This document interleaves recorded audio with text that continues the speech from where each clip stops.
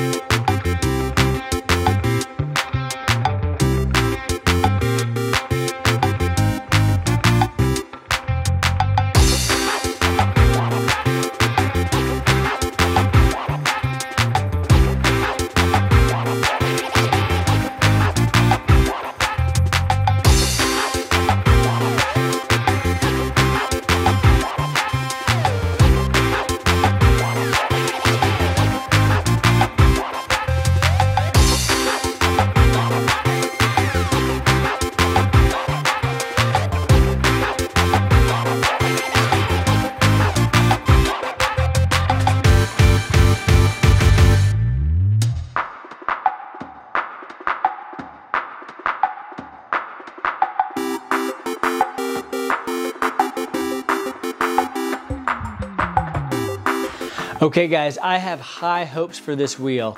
I've been corresponding with some overseas manufacturers and they've changed a few of the features that I was uh, not so excited about in previous editions. And so we're gonna see how it performs in the next video. Check it out.